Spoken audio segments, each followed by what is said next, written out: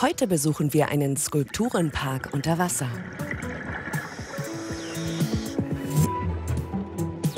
Wir treffen den Magnum-Fotografen Patrick Zachmann, der gerade in Paris eine Ausstellung vorbereitet. Und wir hören, Musik kennt keine Grenzen. Doch zuerst in die Metropole der Woche.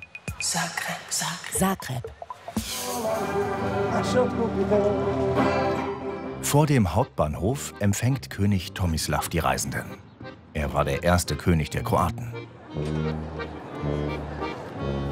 Seit 25 Jahren ist Kroatien ein eigener Staat. Seit knapp drei Jahren Mitglied der EU. Zagreb, Hauptstadt mit wechselhafter Geschichte. Wie lebt sich die Gegenwart? Mit der Musikerin Sarah Renard schauen wir uns die Stadt erstmal von oben an.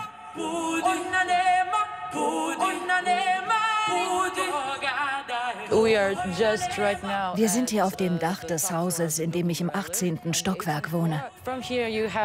Von hier aus sieht man ganz Zagreb. Wer hier steht, hat im Prinzip die ganze Stadt in seiner Hand.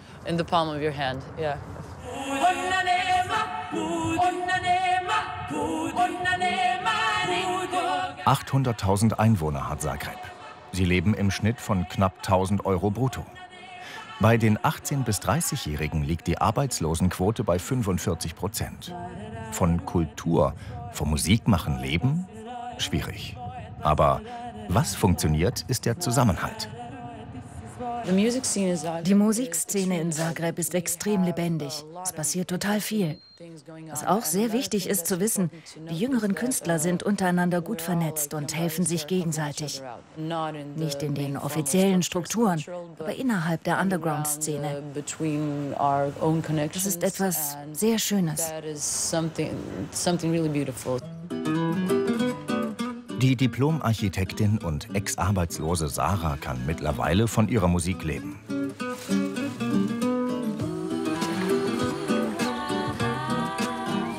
Wenn man Kulturschaffende fragt, welcher Ort für sie besonders wichtig ist, sagen sie Medica, eine alte Pharmafabrik, umfunktioniert in ein autonomes Kulturzentrum. Stipan und Andrea sind hier groß geworden. Stipan macht Bilder, Andrea schreibt Bücher und Texte über Stipans Kunst. Andreas neuestes Buch braucht ein Cover. Von Stipan natürlich. Das wird ein Buch über die Beziehung von Musik und Literatur. Zagreb spielt darin wieder eine Hauptrolle. Zagreb ist schön, ich liebe die Stadt sehr, aber sie kann auch seltsam sein. Zagreb hat mindestens zwei Gesichter, wahrscheinlich auch zehn. Zagreb ist jetzt echt äh, am, äh, wie sagt man, äh, down. Äh, ein bisschen down, ich denke. Er ist sehr arm geworden. Viele, viele Leute sind äh, ohne Jobs. Meine Vision von Zagreb ist vielleicht äh, am besten vor, vorgestellt von diesem Projekt, das ich gemacht habe. Es heißt Street Fashion Zagreb. Wir nutzen ja nur Leute, die von hinten gemalt äh, waren, das, weil es auch so designerisch dann, dann ist. So.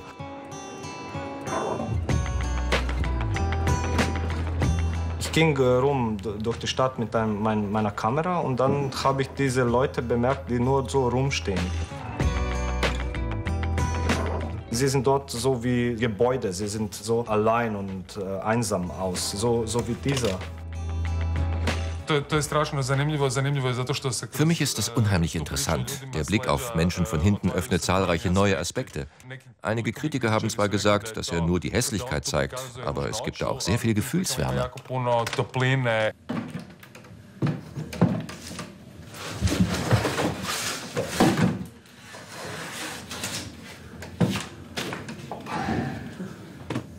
Ich will auch äh, Bilder machen, die alt aussehen.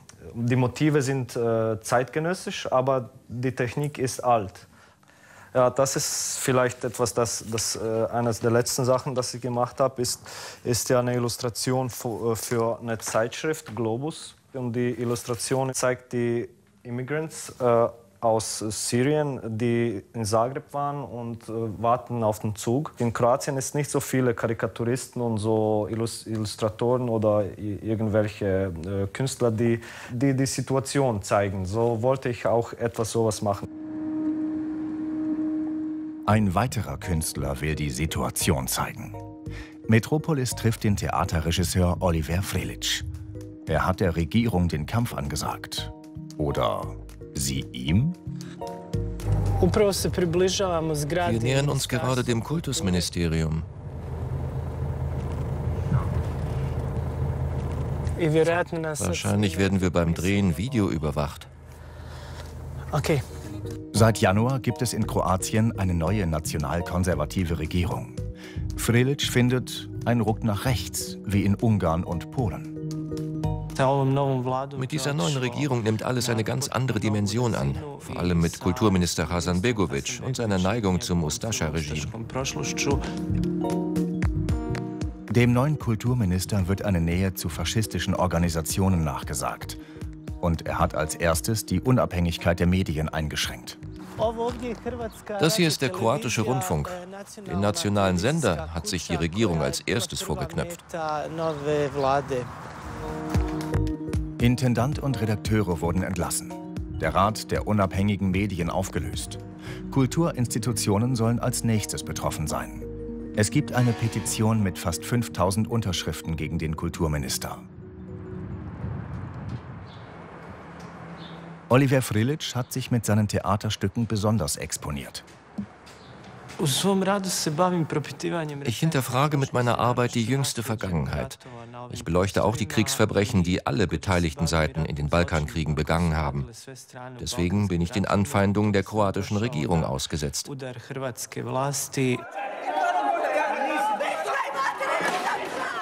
Der preisgekrönte Theaterregisseur provoziert. Vor allem seine Trilogie über den kroatischen Faschismus hat hohe Wellen geschlagen.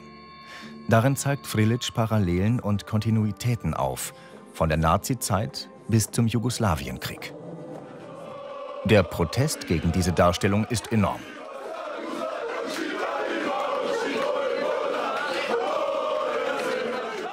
Einschüchtern lassen will Frilic sich nicht.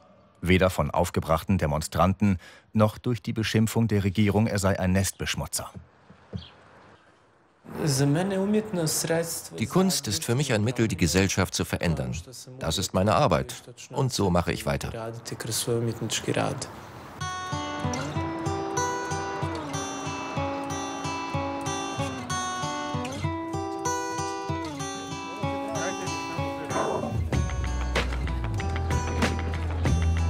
Man kann Geschichte nicht verändern, aber man kann aus ihr lernen.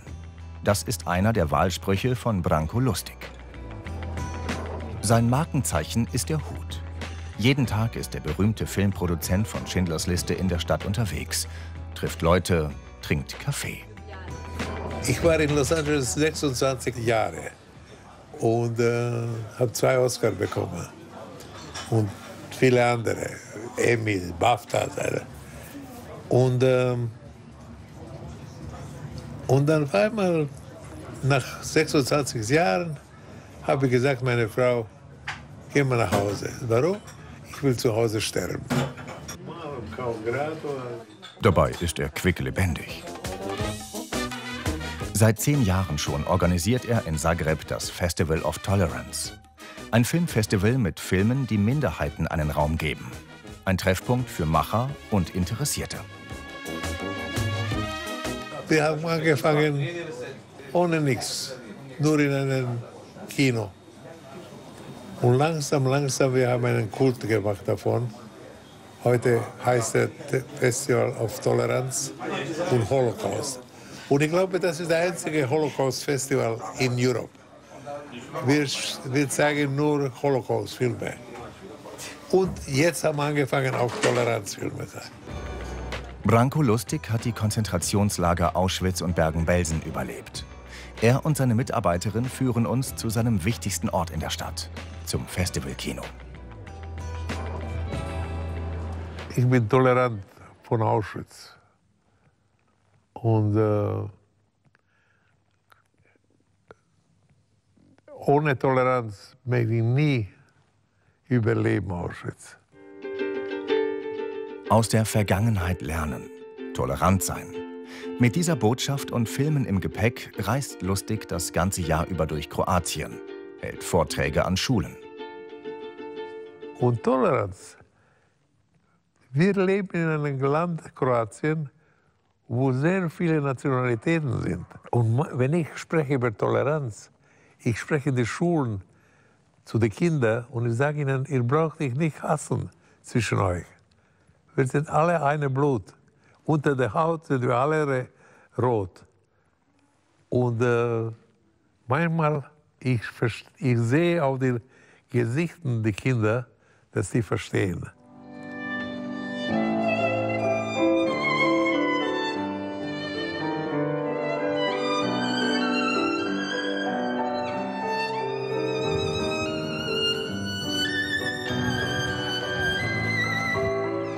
Ein Geheimtipp sind die Konzerte im kroatischen Musikverein.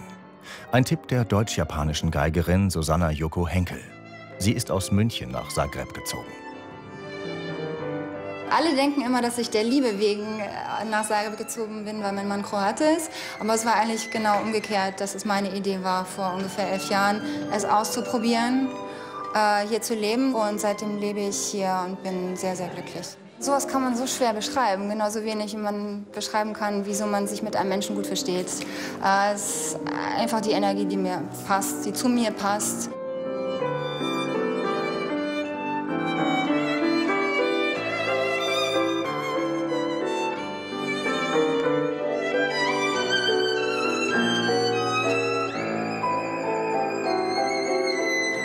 Romantisches Intermezzo heißt das Lied von Pavle Despali. Es lässt eine weitere Seite der Stadt anklingen, die K&K-Überreste der Donaumonarchie. Kaffeehäuser, ein gemächlicher Lebensstil. Auch das ist Zagreb.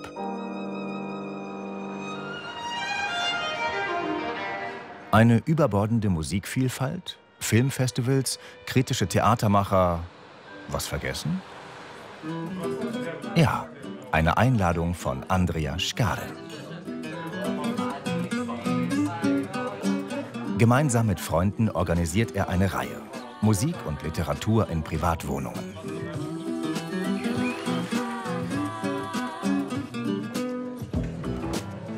Da darf Ona Sebudi zum Abschluss nicht fehlen.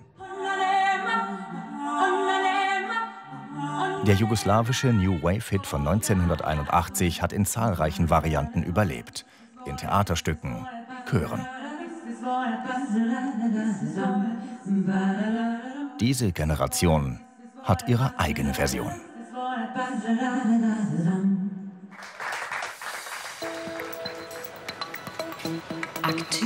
Aktuell.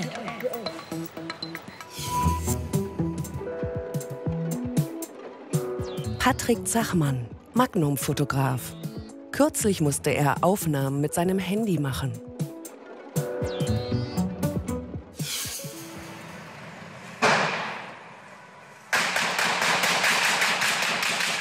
Paris, 13. November 2015. Der erste Schusswechsel zwischen Terroristen und Polizei vor dem Musiksaal Bataclan. Die Stärke dieses Videos ist, dass man die Polizei in voller Aktion sieht, auch in der Gefahr, den Risiken, die die Polizisten auf sich nehmen. Man macht sich nicht immer klar, dass sie enorm viel riskieren. Ich meine, das sind keine Spezialeinheiten, die sind erst viel später eingeschritten. Mit professionellem Blick dokumentiert Patrick Zachmann den Einsatz der Polizei. Ich habe ein bisschen gezoomt, nicht wirklich kadriert. Naja, ein bisschen. Ich habe versucht, nicht zu ästhetisieren. Ich habe einen Horror vor den Fotografen, die die harten Themen ästhetisieren. Ich mag das nicht. Manchmal schockiert mich das. Äh, Trotz fehlender Ausrüstung macht der Magnum-Fotograf an diesem Abend eindrucksvolle Bilder. Mit seinem Smartphone.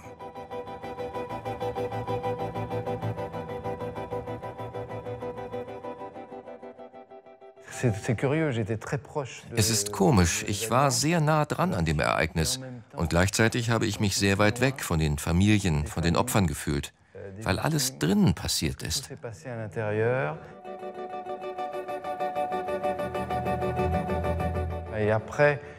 Und danach bin ich jeden Tag wiedergekommen, eine Woche lang in etwa. Einerseits, um zu dokumentieren,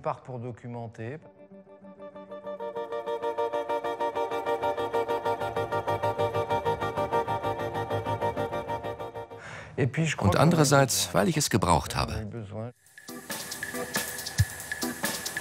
Patrick Zachmann, Jahrgang 1955, ist seit über 25 Jahren Mitglied der renommierten Agentur Magnum. Bekannt durch seine ausführlich recherchierten Reportagen, nicht als aktueller Journalist. China, das ist vor allem sein Thema, wie die derzeitige Ausstellung im Pariser Haus der Fotografie zeigt. Und überraschend erfährt man hier, dass er schon einmal zum richtigen Zeitpunkt am richtigen Ort war. An dem Tag, als ich angekommen bin, hat mich das Taxi vor dem Hotel Peking abgesetzt, nicht weit vom Tiananmen-Platz. Ich stelle meine Koffer ab und dann sehe ich ein Stück weiter kleine Ansammlungen. Und wenn man China kennt, dann weiß man, dass das nicht normal ist. Das ist verboten. Tatsächlich fing da die Bewegung an, die man den Pekinger Frühling nennt.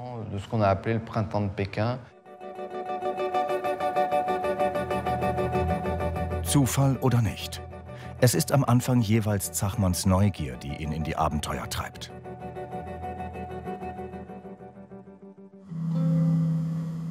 Manchmal genügt ihm die Fotografie als Medium nicht. Ihre Mittel sind für ihn begrenzt. Nach mehreren Videoarbeiten arbeitet er jetzt an einem Kinofilm, eine Spurensuche in China mit autobiografischen Elementen.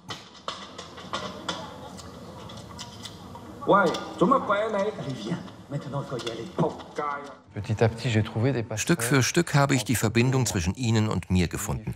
Ich bin Jude. Meine Familie wurde während des Krieges verfolgt, wie Sie verfolgt wurden.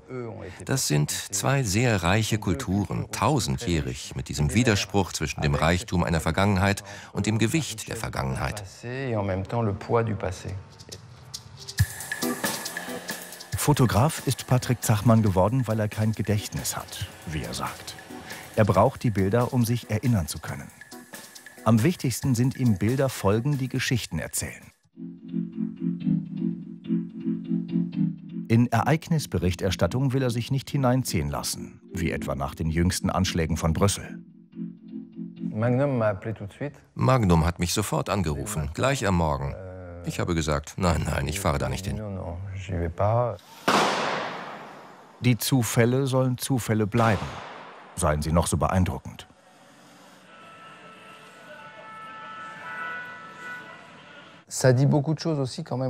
Das sagt auch viel über das System der Medien.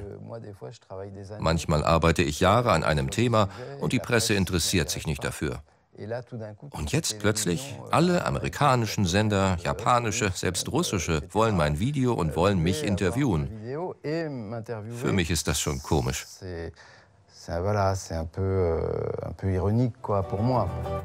Fotojournalismus und Dokumentarfotografie sind eben zwei verschiedene Dinge. In Zeiten terroristischer Bedrohung vielleicht noch mehr als sonst. Kunstart. Und nun ein Sprung ins kalte Wasser für die Kunst.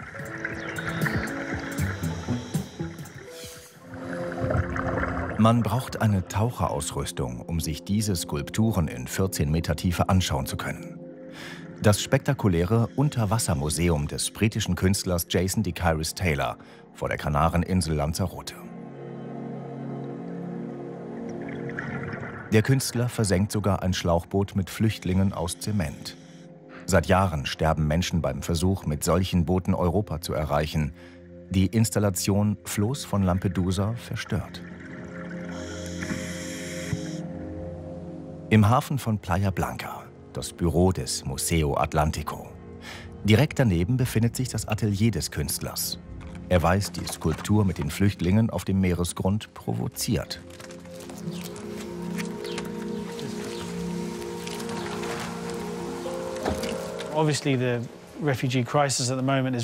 Die Flüchtlingskrise konzentriert sich derzeit sehr auf Syrien.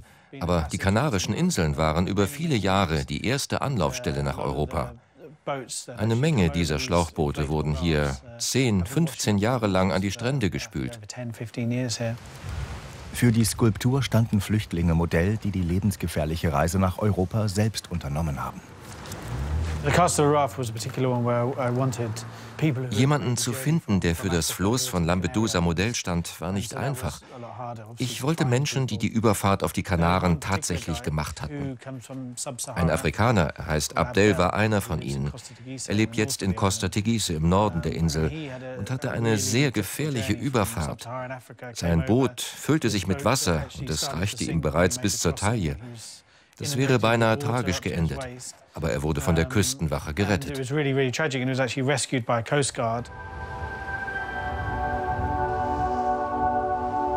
Mit solchen lebensgroßen Skulpturen schuf Jason de Kyrus Taylor vor zehn Jahren in der Karibik seinen ersten Unterwasserskulpturenpark.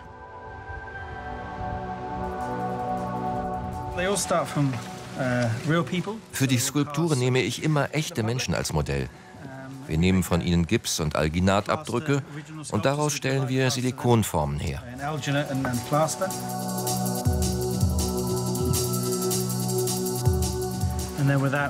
Dann wiederholen wir diesen Prozess und gießen das mit einem speziellen Zement. Die anfangs skeptischen Inselbewohner stehen ihm mittlerweile bereitwillig Modell. Die natürlichen Veränderungen seiner Skulpturen unter Wasser sind Teil des künstlerischen Konzepts. Durchaus mit ökologischem Sinn, denn seine Arbeiten in der Karibik sind mittlerweile eine so große Attraktion, dass deutlich weniger Taucher die empfindlichen natürlichen Riffe besuchen. Die Tourismusbranche auf Lanzarote erhofft sich mit dem Museo Atlantico eine neue Attraktion. 700.000 Euro hat man sich das Unterwassermuseum kosten lassen. Seit Ende Februar kann man hinabtauchen. Aber noch bis Ende des Jahres werden weitere Skulpturen im Meer versenkt.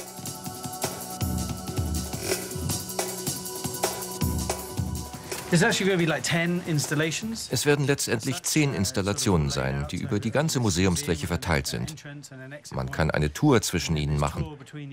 Am Ende werden es etwa 300 Statuen sein.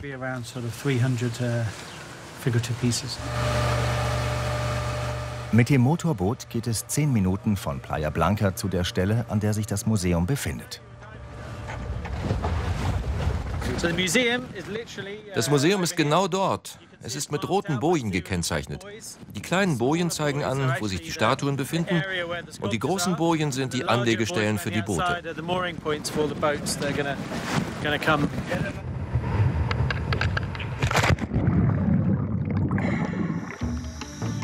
Der ungewöhnliche Eintritt in ein ungewöhnliches Museum.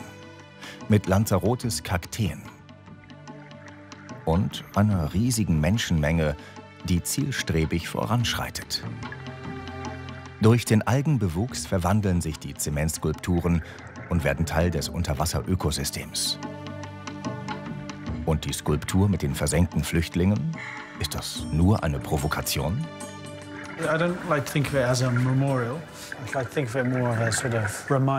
Ich möchte es als kollektive Erinnerung sehen, für eine Verantwortung, die wir alle haben.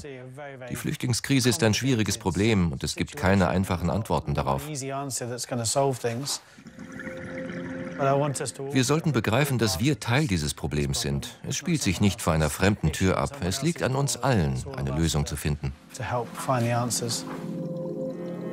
Das Floß von Lampedusa ist eine eindringliche Mahnung, dass Europa eine gemeinsame Verantwortung hat, das tägliche Sterben an seinen Grenzen zu beenden.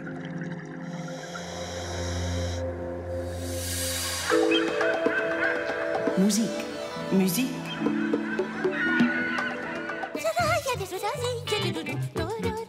Musik kann mehr sagen als Worte.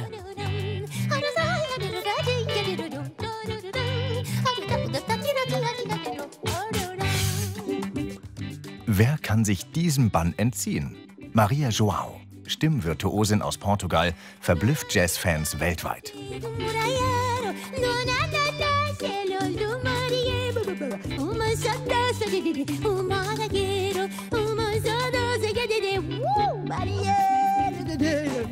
Mühelos klettert sie über mehrere Oktaven, vom afrikanischen Marktweib zur Koloraturartistin.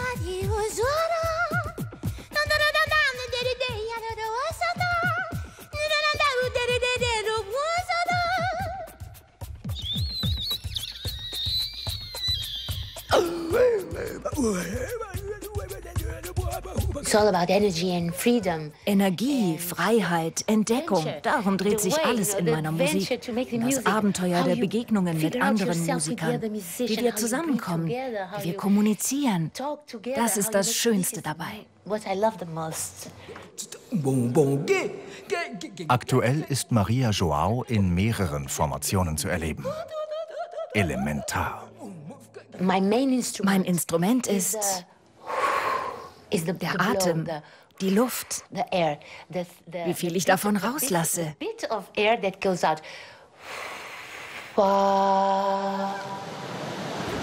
Treffpunkt Kashkesh, unweit von Lissabon, wo sich der Atlantik öffnet. Hier lebt Maria Joao, ihr Heimathafen. Wenn die Untriebige nicht gerade auf Tour ist oder neue Alben einspielt. In Deutschland, Frankreich, Portugal und Brasilien.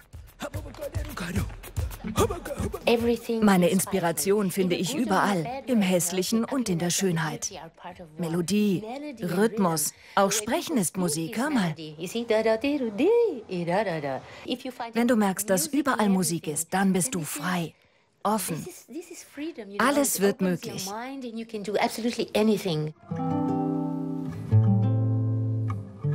Von der Weite des Meeres inspiriert ist Joaos Duo mit dem brasilianischen Gitarristen Ginga. Ihr gemeinsames Album gefeiert.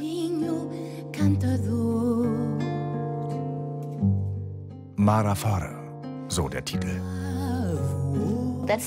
In dieser Musik steckt die ganze Weite des Atlantiks. Deshalb Marafore. Eine Herausforderung für mich. Keine Improvisation diesmal, sondern totale Konzentration.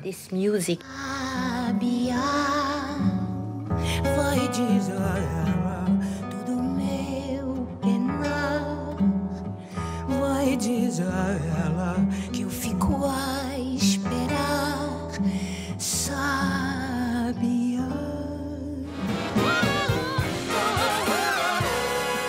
Abjazzen. Mit und gegen die 30 Bläser vom Upper Austrian Jazz Orchestra aus Linz. Das kann die Joao auch. Erst dachte ich, Himmel, die sind so laut, mir klingen die Ohren. Aber dann fand ich meinen Platz unter ihnen und einen Weg, zusammenzuspielen.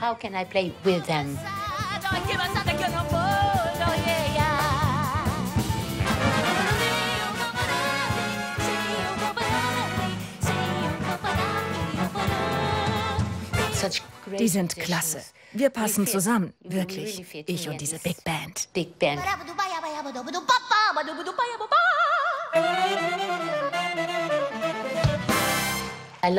Ob Duo oder Big Band, ich liebe es. Und auch das Sinfonieorchester.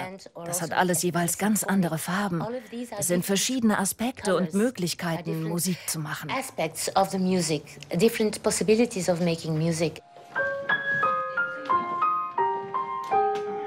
Und das ist Joaos Formation zu Hause in Lissabon. Ogre, ein Trio. Im April bei uns auf Tour zu erleben. Ogre nutzt Synthesizer, Laptops, Electronics und Maria scratcht. Elektronische Musik ist ein ganz neues Kapitel für die Künstlerin, die sich mit fast 60 noch lange nicht auf ihren Erfolgen ausruhen will.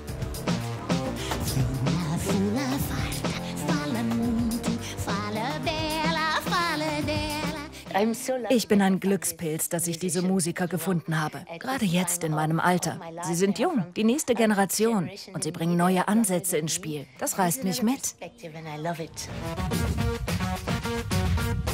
Plastico heißt das aktuelle Album von Ogre. Tanzbar.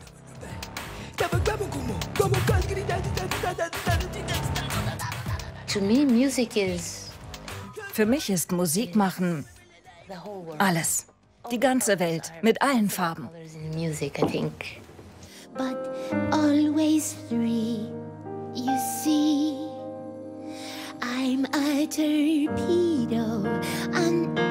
Drei Oktaven. Dazu Musiker, die erden. Jazz ab. Der Frühling kann kommen.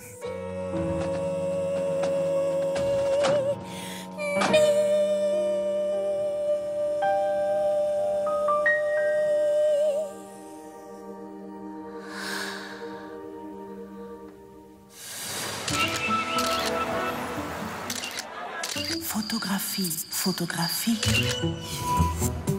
Und jetzt geht es nach Berlin, um eine wirklich große Fotografin aus der Versenkung zu holen. Eine Ausstellung im Martin-Gropius-Bau.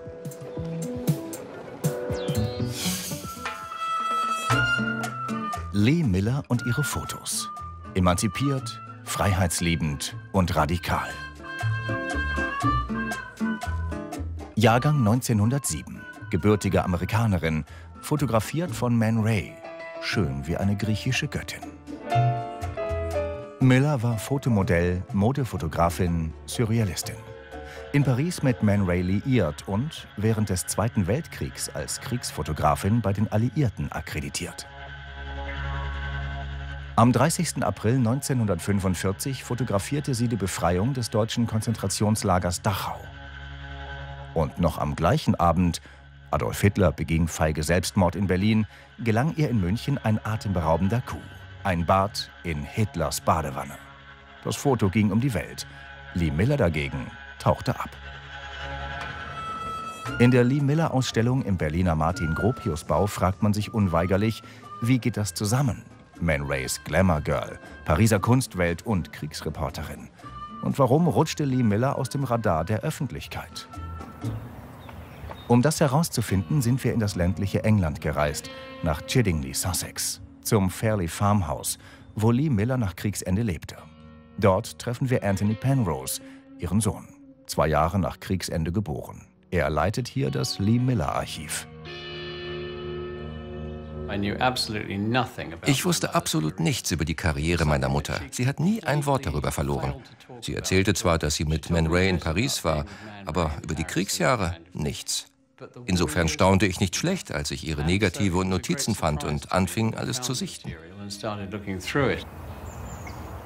Das Farley Farmhouse, ein zauberhaft verwunschener Ort.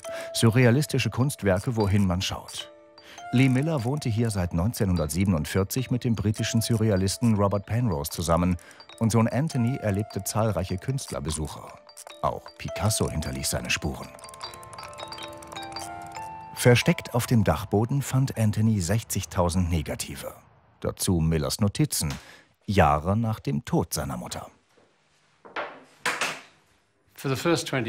In den ersten 20 Jahren meines Lebens habe ich Lee Miller nur als Alkoholikerin erlebt. Als Kind war es schwierig für mich, eine tragfähige Beziehung zu ihr aufzubauen.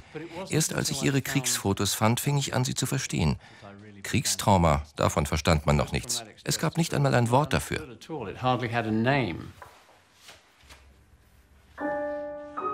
Den Gestank von Dachau habe sie nie wieder aus der Nase bekommen, erzählte Miller einer Journalistin kurz vor ihrem Tod 1977. Tausende ihrer Fotos zeigen das Grauen, das sie sah. Fotos von Nazi-Opfern und Nazitätern. Miller schaute hin, schonungslos. Auch ihr Badewannenfoto fand Anthony auf den Kontaktbögen. Sie zeigen Millers kluge Inszenierung und den Zusammenhang. Miller war mit David Sherman vom Live-Magazin in Hitlers Wohnung. Beide nahmen ein Bad. Nur Hitler hatte damals noch Kohlen im Ofen. Bemerkenswert, wie sie ihren surrealistischen Blick als Kriegsfotografin einsetzt. Denn Miller inszenierte das Wesentliche. Hitlers Badematte mit dem KZ-Schmutz ihrer Schuhe. Links sein Porträt, rechts Nazi-Kitsch. Und mit gleicher Entschiedenheit inszeniert sie sich auch im Bett von Eva Braun, in letzter Minute Hitlers Frau. Komisch, obwohl ein sehnsüchtig erwarteter Tod, notiert sie dazu. Immer die Absurdität im Blick. Ein jüdischer US-Sergeant, mein Kampf lesend, in Hitlers Bett. Und auch hier, zwei Kollegen, wie sie den Suizid des Leipziger Nazi-Bürgermeisters dokumentieren. Um Lee Miller und ihre Fotografien zu verstehen, muss man sie als Surrealistin begreifen. Ihre Jahre in Paris waren prägend für ihr weiteres Leben und sie haben ihr Schaffen nachhaltig gefärbt.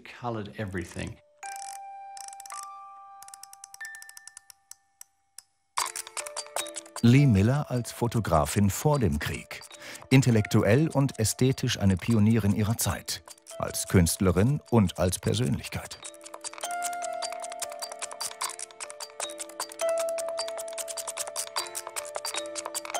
Sie sah das Besondere im Alltäglichen, schaute unter die Oberfläche und wie alle Surrealisten war sie immer sehr politisch. Sie stand ein für Frieden, Freiheit und Gerechtigkeit. Deshalb war der Zweite Weltkrieg von so großer Bedeutung für sie. Sie fehlte, ihre Stimme in der Geschichte. Sie, die so viel gesehen hatte, so viel wagte, Mut bewies, eine starke künstlerische Vision vorantrieb.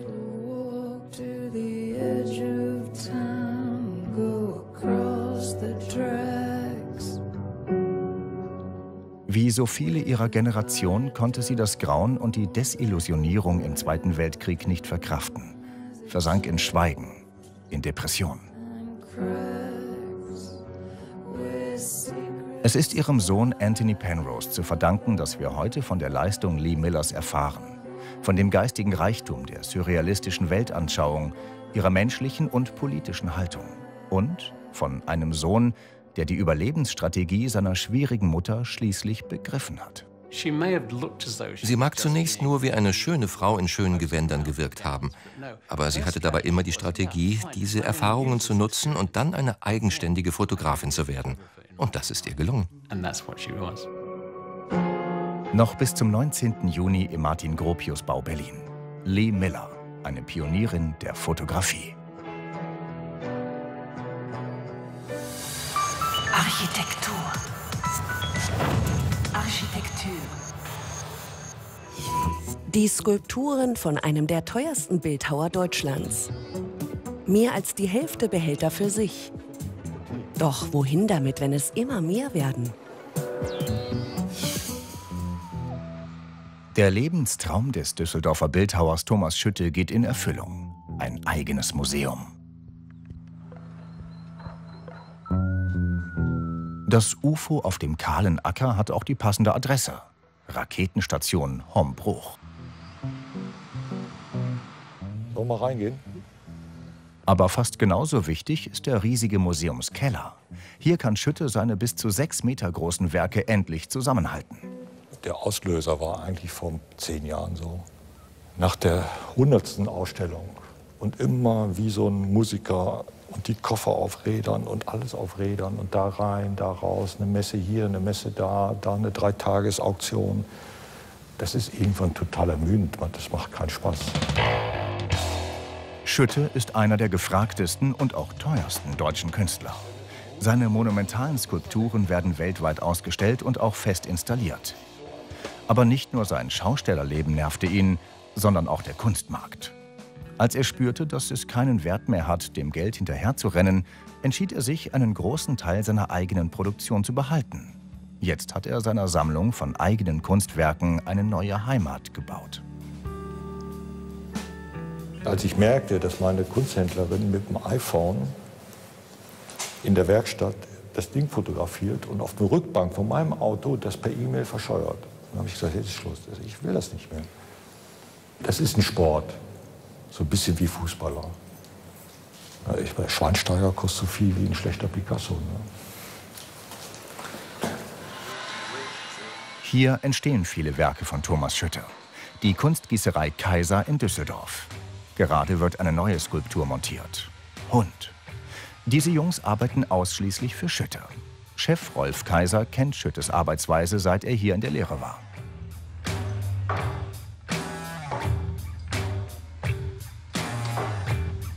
Er bringt meistens kleine Modelle die werden dann vergrößert. Da haben wir auch Handwerker dafür, spezielle Leute, die machen die Vergrößerung. Früher hat man es noch richtig gemessen ja, und dann mit Eisengestell und Drahtgestell hochgezogen. Heute nimmt man äh, die neue Technik, 3D-Scans. Thomas Schütte ist kein Jeff Koons, der nur machen lässt. Schütte hat bei Kaisers einen eigenen Spind und einen Blaumann. Nur so kann er sicher sein, dass zum Beispiel eine Skulptur wie Vater Staat im richtigen Maße an einen gewissen hochrangigen CDU-Politiker, Wolfgang Schäuble, erinnert.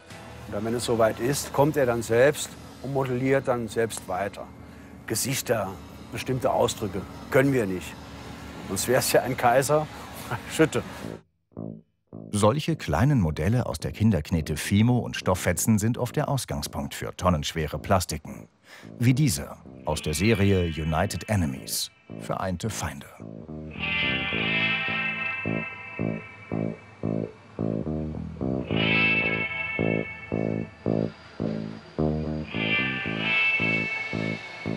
Die Arbeit von Thomas Schütte besteht aber nicht nur aus solchen Gruselfiguren. Viele seiner Werke sind architektonische Modelle für Fantasiegebäude. Auch die Skulpturenhalle in Hombruch fing als einfache Skizze an. Aber es wurde auch alles ausprobiert. Ne? Der Anfang war ja auch mal ein eckiger Raum. Ja, am Anfang, aber dafür war das Ganz Dach kurz. Es war eine Streichholzschachtel mit einem Pringelchip oben drauf. Das war das Urmodell. Und fast alle Lösungen sind gebastelt und dann zu den Architekten getragen morgens. Und abends wusste man, ja, können wir uns nicht leisten. Funktioniert nicht oder geht dann doch. In den letzten Jahren sind viele seiner Modelle realisiert worden. In Österreich steht jetzt das Ferienhaus für Terroristen. Und auch Ackermanns Tempel wurde gebaut.